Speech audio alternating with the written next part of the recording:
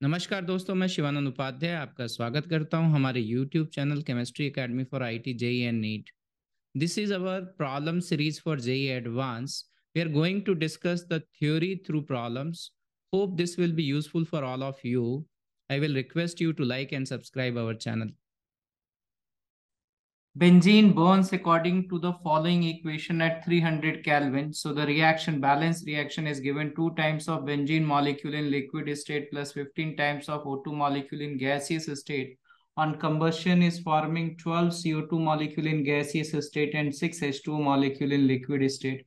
Delta H naught of the reaction is minus 6500 kilocalorie. What is delta U naught of the combustion of one mole of benzene. Uh, we can solve this question, but while solving the question, keep in mind that when we talk about heat of combustion, when one mole of the substance, uh, we can use that delta H naught of the reaction is equal to delta U naught of the reaction plus P2 V2 minus P1 V1. Here there is no pressure and volume is given. So I can assume that these gases are ideal gases. When these gases are ideal, then P2 V2 minus P1 V1 can be written as delta Ng RT.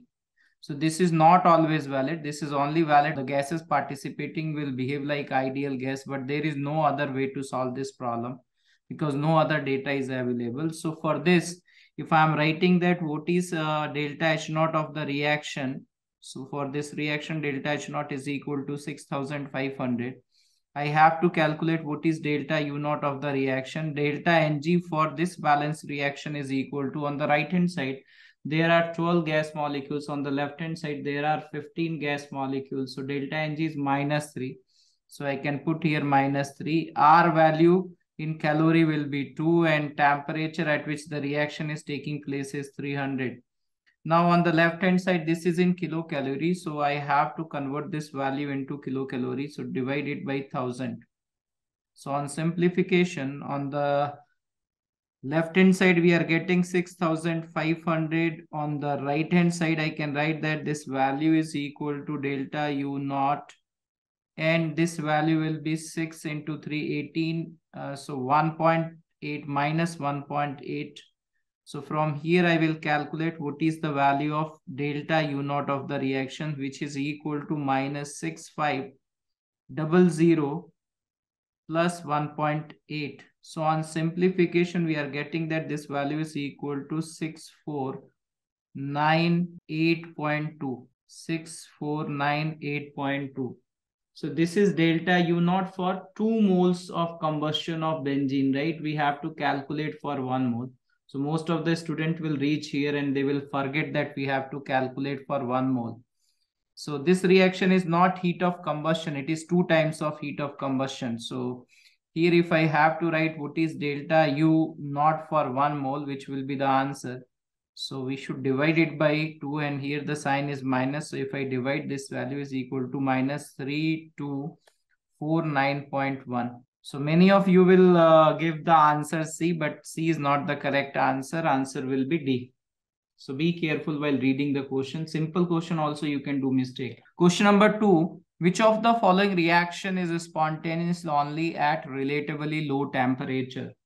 And the first reaction is NH4Br in solid state plus 188 kilojoules. So when we are adding heat on the reactant side means it is an endothermic process to form ammonia gas and Br2 liquid. The second reaction is NH3 in gaseous state plus HCl in gaseous state. This is acid-base reaction to form NH4Cl solid. And plus sign of energy on the right-hand side means energy is liberated. 176 kilojoule energy is liberated. So this is exothermic and this is endothermic. Sometimes this can be written as minus 176 on the left-hand side, right? The third reaction is 2 times of H2O2 in liquid state will form 2 times of H2O in liquid state plus 2O2 in gaseous state plus 196 kilojoules. So this is also exothermic reaction, right? So we have to solve this. So in order to solve it, uh, we are going through the first option. We can write that the first option is NH4Br solid. Uh, for this, if I write that what is delta G, delta G is equal to delta H minus T delta S. Delta H for this reaction, delta H is positive because it is an endothermic reaction. There is addition of heat energy on the left hand side, reactant side. So it is endothermic reaction. Now, delta Ng for this is 1. So entropy change for this reaction is positive. Entropy change is positive. And we know that in endothermic reactions are entropy driven reactions. So this delta G will be negative at high temperature. Delta G will be negative at high temperature. They're asking that which reaction is spontaneous at low temperature.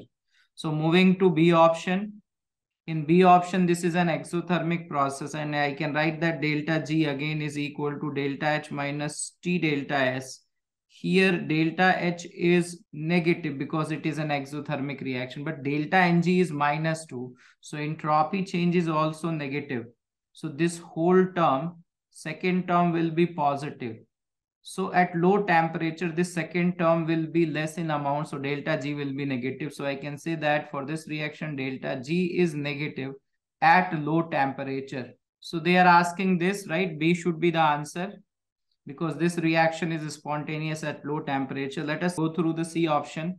Uh, this is an exothermic reaction. Again, I can write that delta G is equal to delta H minus T delta S. Delta H is negative but delta S of this reaction is positive, right? Because delta Ng is plus 2.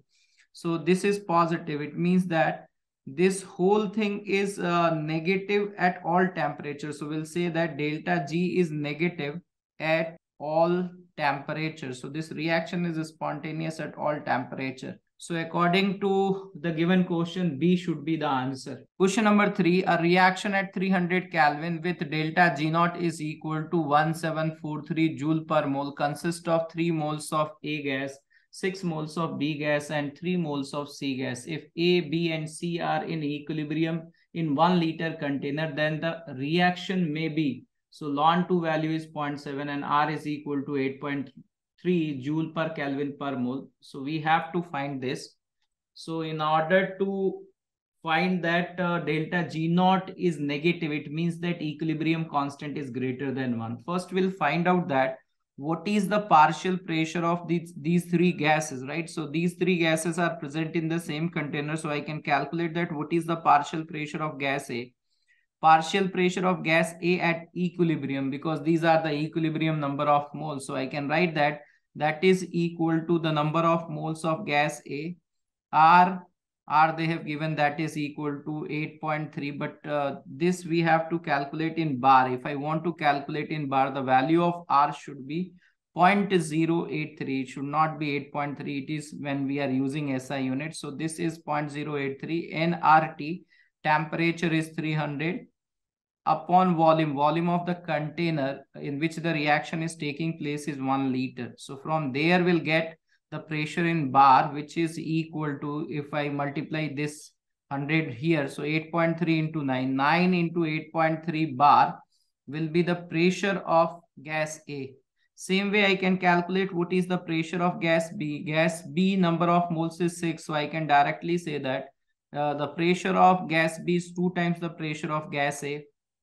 And same we can say that pressure of gas C is equal to pressure of gas A because the number of moles are equal. So 9 into 8.3 bar.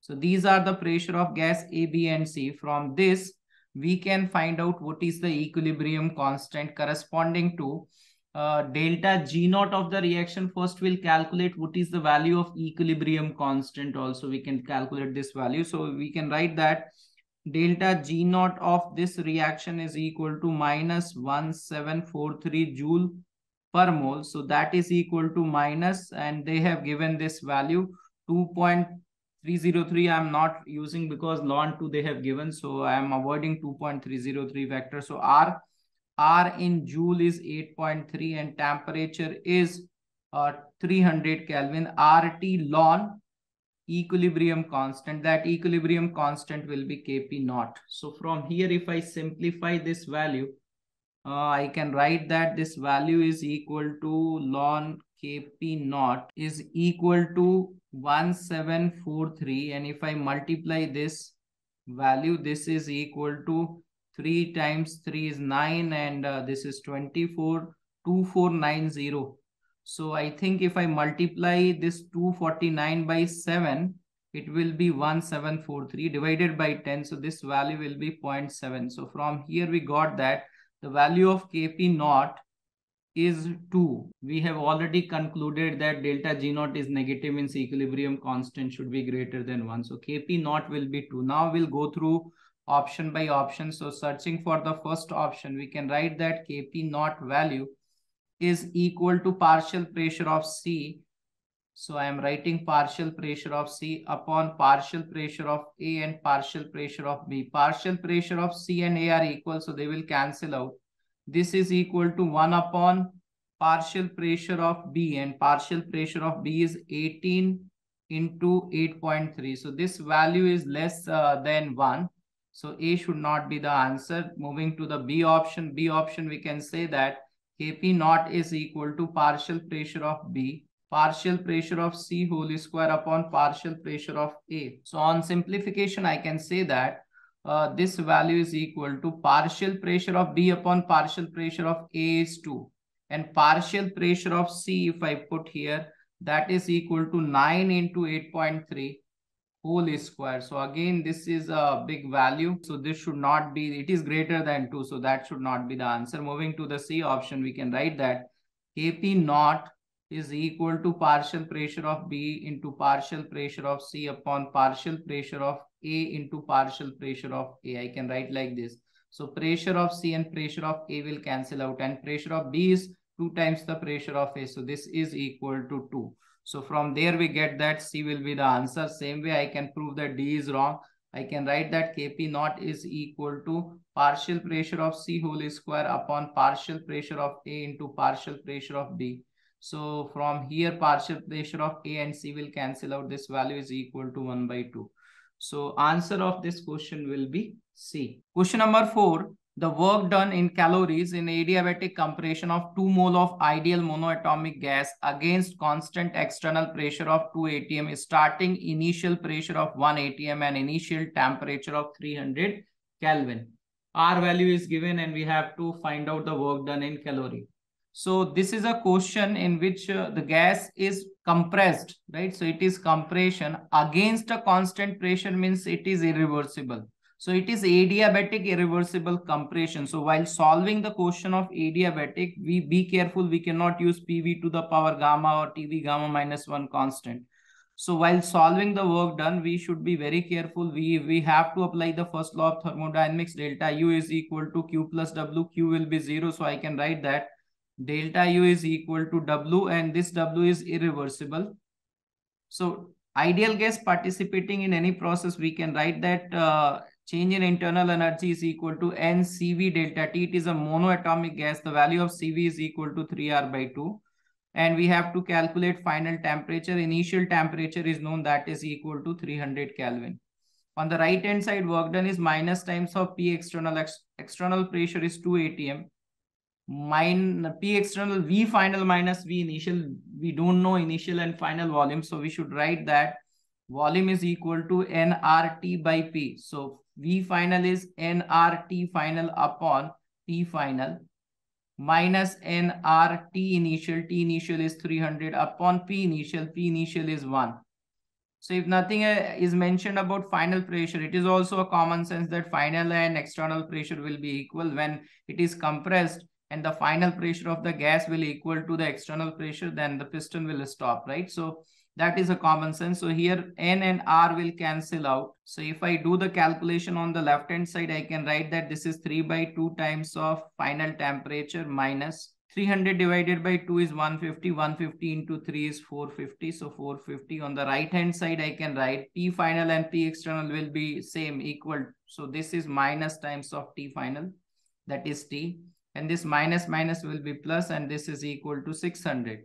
So now if I write that what is the final temperature, if I take this T on the left hand side, I can write 5 by 2 times of capital T is equal to 450 plus 600 is equal to 1050. From here, I can calculate what is the final temperature that is equal to 1050 into 2 divided by 5. So on simplification, I can say that this value is equal to 210 into 2, which is equal to 420 Kelvin. Once I know the final temperature, Now I can write that what is the work done in irreversible, adiabatic irreversible. That is equal to internal energy change, which can be written as N into CV into delta T. The number of moles of the gas is 2. 2 moles of the ideal gas is given. The value of CV because it is monoatomic gas, so CV is 3R by 2. And temperature change is 420 minus 300, that is equal to 120. So if I simplify this 2 and 2 will cancel out. Calorie, in calorie, the value of R is equal to 2. So 6 into 120 is equal to 720. 720. So this B will be the answer. So be careful when you are solving a question of adiabatic.